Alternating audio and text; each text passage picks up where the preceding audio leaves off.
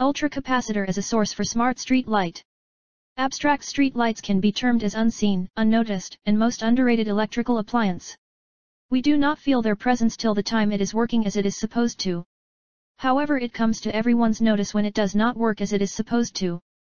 Ideal street light should be on when it's dark outside and should be off when it's bright. For carry out this functionality a person is appointed by the municipal corporation but there are always chances for human error. In order to overcome we have to remove the human factor from the process with the help of automation. Automation is implied for the decrease of labor as the human has gotten to be excessively occupied and even incapable, making it impossible to discover time to switch the lights.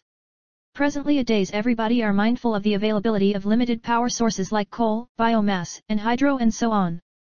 Unnecessary wastage of power in the street lights is one of the noticeable power losses. To this making the lighting system independent of external source is a big leap in terms of smart lighting system. In this setup the street light won't require a supply and the street light will practically be independent. To achieve this I am using ultracapacitors as a source of energy. Index terms renewable energy, smart street light, ultracapacitor, lux sensor, motion sensor. I Introduction 1 the idea of this kind of setup came in existence when I saw the issues occurring in my locality and then I noticed that the issue is just not in my locality but can be normally seen everywhere. As a citizen my duty is go get my surroundings safe and this was possible for me as I can use my technical knowledge and new technological inventions that will help me achieve the goal.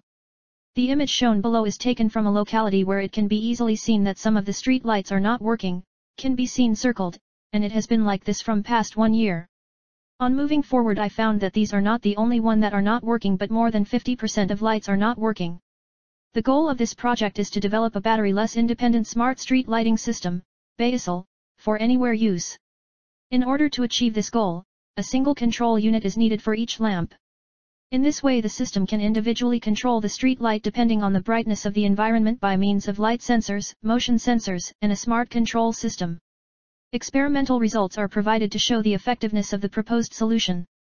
With the wide accessibility of adaptable lighting innovation like light transmitting diode, LED, lights and all over accessible remote web association, quick responding, dependable working, and power moderating street lighting frameworks get to be reality.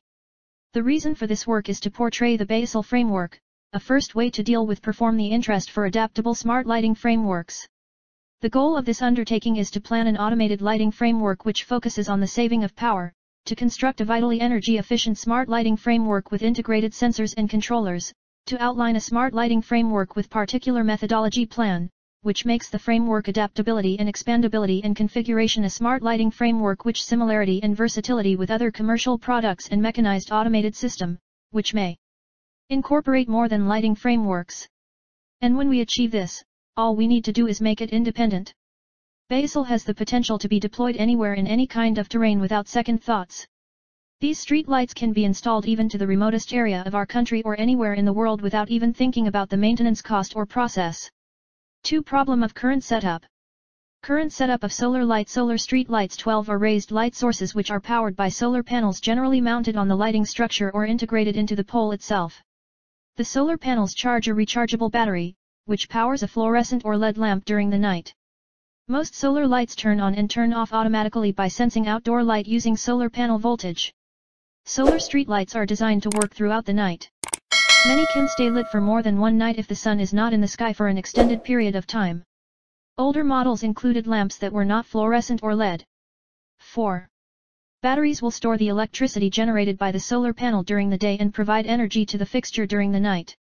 The life cycle of the battery is very important to the lifetime of the light and the capacity of the battery will affect the backup days of the lights. There are two types of batteries commonly used in solar-powered street lights gel cell deep cycle batteries as well as lead-acid batteries. Lithium-ion batteries 1 are also popular these days as they are compact in size and not prone to theft 13 due to their lack of use in other situations unlike lead-acid batteries. Now the issues with battery are many that are electrical in nature and some non-electrical in nature. 1 Battery life 2 numbers of charge cycle. 3 efficiency. 4 time to charge. 5 shelf life. 6 weather. 7 theft. 8 price. We can use ultracapacitors 6 in place of batteries as their tested life cycle is about 10 plus years and because there is no chemical involved and charge stores as a electrical energy and output is also electrical energy hence the cycles can go up to millions of charge and discharge cycles. As there is no energy conversion taking place hence the efficiency also goes up to 99% 15 and the charging time of capacitors are extremely shorter. Now the ultracapacitors works on 2.7 volts 3.2 volts this means in case of cloudy days as well the capacitor will charge to its full capacity. The shelf life of ultracapacitors are also very high and it does not deteriorate with time as there is no chemical used in it. Battery have a high risk of exploding if punctured however with ultracapacitors this is not the case. They are extremely safe and reliable 15. Batteries and capacitors seem similar as they both store and release electrical energy. However, there are crucial differences between them that impact their potential applications due to how they function differently. 15. Although ultracapacitors also have some drawbacks like the power-to-weight ratio is very less as compared to battery but ultracapacitors. 3 Circuit Diagram this is very simple and basic setup with very simple circuit diagram and as we will be working on DC hence the calculation will be simple as there is no part of reactive or apparent power components 3. It seems a simple setup but making it work is a real challenge as the discharge of a capacitor is exponential and the voltage we are dealing here with makes it really complicated as the operating window is very narrow because as the voltage reaches below 2.75 volts 15, approximate, the intensity of SMD lead falls. To overcome this situation we need to use a controller. A controller 3,6 is a major component as it does not only controls the discharge of ultracapacitors but also controls the ultracapacitors from overcharging and overvoltage protection 8. The goal is to light up a SMD LED using ultracapacitors as a source. For calculations. 1 operating cost of current setup.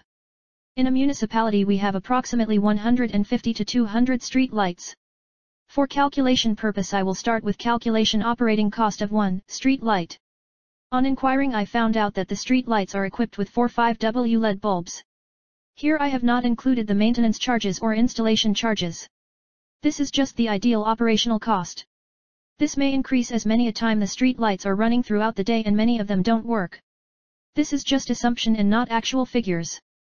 The above mentioned charges are for a single street light setup with battery 4.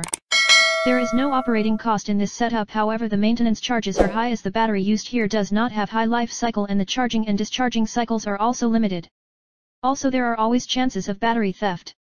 On other hand there is option to use Li-ion batteries which will further increase the cost of this setup with the drawbacks of battery still in picture.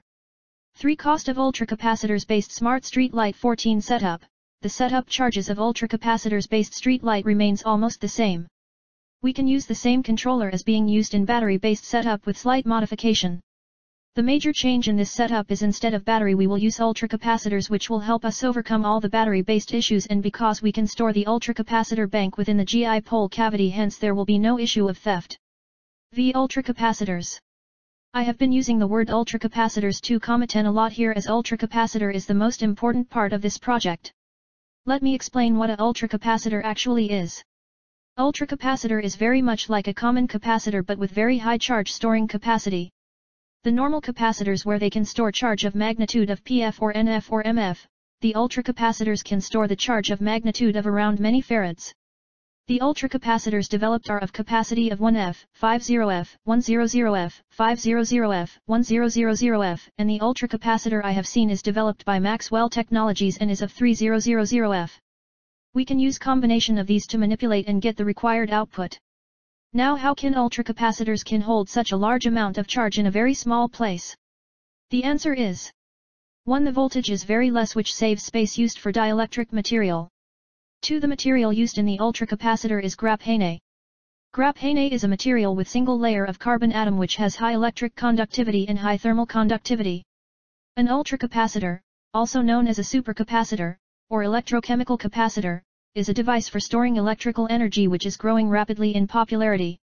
The design and mechanism of operation is somewhere between an ordinary capacitor and a battery, which opens up some interesting and valuable applications. Like a battery, a single ultracapacitor cell consists of a positive and negative electrode, separated by an electrolyte. However, ultracapacitors store energy electrostatically, like a regular capacitor, not chemically like a battery, there is a Dielectric separator dividing the electrolyte, also like a capacitor. The small separation between electrodes permitted by this structure lead to much higher energy storage density than a normal capacitor. Whilst an ultracapacitor stores less energy than an equivalently sized battery, it can release it much quicker, as the discharge is not dependent on a chemical reaction taking place. Because no physical or chemical changes occur when charge is stored, ultracapacitors can also be used many times over without degradation. Ultracapacitors using graphene electrodes show great promise, due to the remarkable electrical properties of the material. The technology is still in its infancy, however, and the degree of control over the electrode structure which is needed is still difficult to achieve. It is currently possible to make graphene ultracapacitors with equivalent characteristics to more established materials, but at far greater cost. In the near future, however, graphene technology is likely to take over this market, as the potential performance benefits are huge. 1 for discharging. A capacitor discharge, voltage decay V equals VO asterisk E, T slash RC. B capacitor discharge, charge decay Q equals QO asterisk E, T slash RC. C capacitor discharge, current decay I equals IO asterisk E, T slash RC. 2 for charging. A capacitor charging, potential difference. BV equals VO1E, T slash RC. 6 Actual project. As can be seen that the SMD LED is operating when connected to ultracapacitor. Although in current setup it can be seen that the capacitor are connected in series which is not an ideal way to connect capacitor.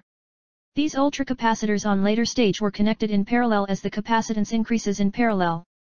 7. Conclusion We can use ultracapacitor as a power source replacing the battery to achieve a feasible smart street lighting system. Although we need more complex controller that can increase the efficiency of the current proposed setup and we can use soft switching for better performance.